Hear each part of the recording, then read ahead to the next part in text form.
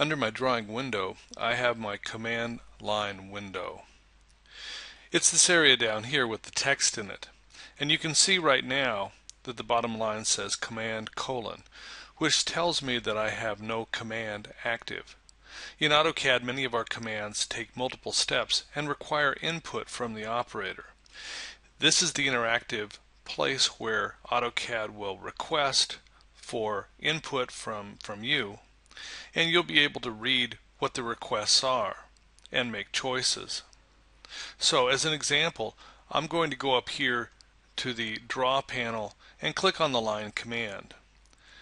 As soon as I click on this, you notice that down here in the command line window, it says line specify first point. So AutoCAD is telling me what I need to do to start my line command. It wants me to specify a point. I'm just going to click in my drawing window to start this command and you'll notice that now on the command line down here it's telling me specify the next point.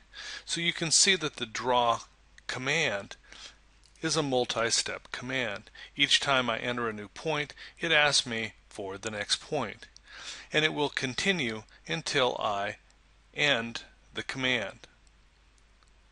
To end the command in AutoCAD I would either hit enter on the keyboard I would hit the space bar or I can right click the mouse and from my right click menu choose enter to end the command.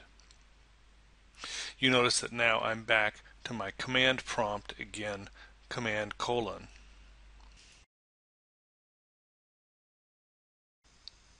When you're going to start a new command, it's a good idea to glance at the command line and make sure that no commands are currently active.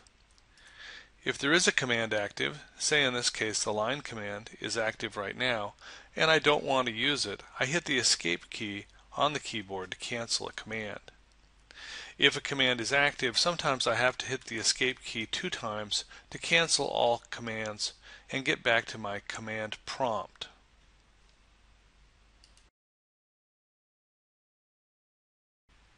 In addition to watching the command line for needed input asked for by a particular command, I also have options that I can use and I can enter that from the keyboard on the command line.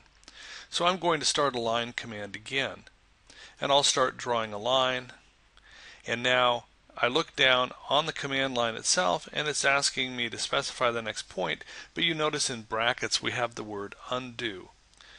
I can execute the undo to take away that last line segment that I drew by hitting U on the keyboard. That's the capitalized letter in this command option. So hitting U and enter undoes that last line segment. Another way to access the command options is to right click the mouse.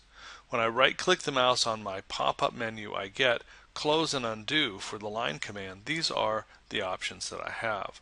Also you notice that enter and cancel and recent input are also available on my right click menu. On some commands I have a default option. I'm going to activate the circle command and I'm going to draw a 2 inch circle. So I'll enter 2. Now I'm going to start the circle command again, choose another point. Now notice down here on the command line that I have an option of entering a diameter, but in the angle brackets it says 2. So it remembers the last radius that I used. And because it's in angle brackets, if I hit the enter key, it just automatically uses that as the default distance.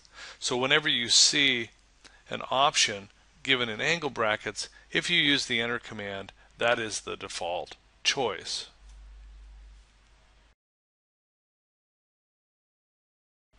The command line window is adjustable as to its height. I can use my mouse to adjust it so that I can see more or less lines. It's good to have it adjusted so you see at least three lines of your command history in addition to the current command line.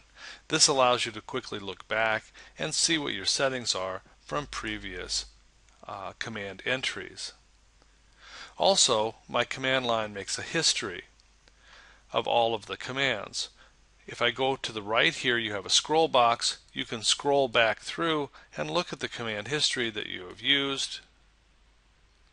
Or I can use the F2 key to open a text window that contains all of the command history that's gone into the drawing.